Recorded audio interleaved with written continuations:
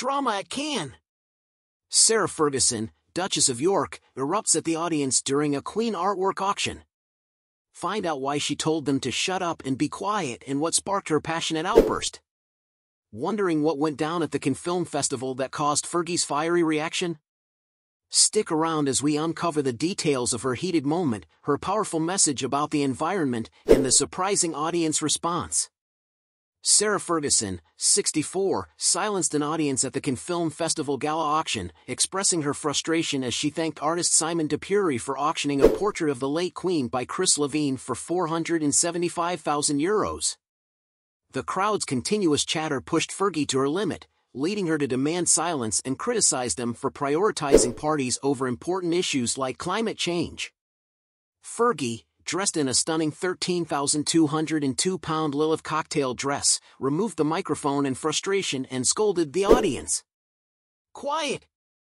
Because the incredible person Simon de Pury has done an amazing job tonight. This is exceptional, she insisted.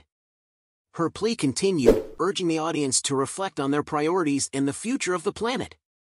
In a heartfelt apology to young people, Fergie expressed regret over the current state of the environment.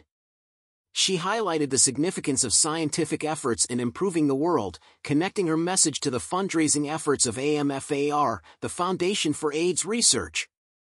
Later in the evening, Fergie revealed her ongoing battle with cancer, sharing that she has put cancer in a corner. Following her diagnosis earlier this year, she emphasized the importance of regular health checks and candid discussions about health issues. The gala, attended by celebrities like Heidi Klum, Bella Thorne, and Demi Moore, was part of the Cannes Film Festival, renowned for its blend of glamour and philanthropy. Demi Moore also made headlines for scolding the audience while introducing Cher, showcasing a night filled with both high emotions and star power. There you have it, the fiery moment at Cannes saw Fergie passionately calling out the audience. What do you think about her outburst and her message? Share your thoughts in the comments below.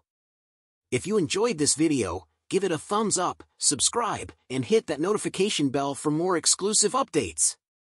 Thanks for watching Celeb Alert.